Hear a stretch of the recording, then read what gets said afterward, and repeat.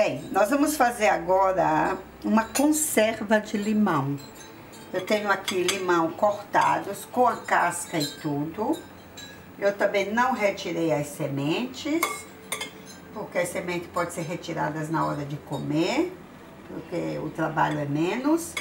E tenho corante, sal grosso, óleo de oliva. Nosso corante aqui é feito com pimentão vermelho.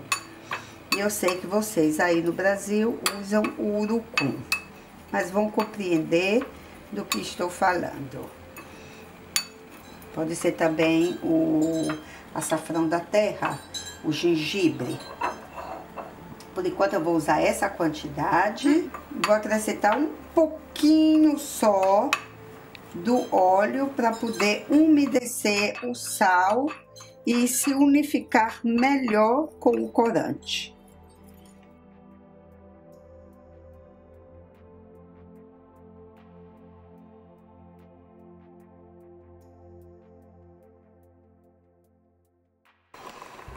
E agora eu vou tirar o suco de um limão. Por cima, eu coloco azeite de oliva.